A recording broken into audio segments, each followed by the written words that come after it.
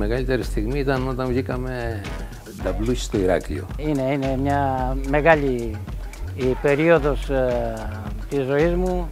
Ε, ο Αουάν Μια χρονιά είχαμε την καλύτερη επίθεση Ελλάδος, εραστεχνικό εμείς, με 109 γκολ. Ο πρόεδρος είχε, είχε, είχε το όραμα, είχε την τρέλα θα το έλεγα.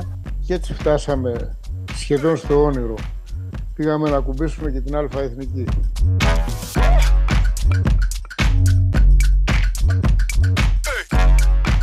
Αθλητικές ιστορίες με τον Γιώργο Μιμίκο. Κάθε Τετάρτη στις 10 παρα 10 στην Κρήτη TV. Κρήτη TV να δεις.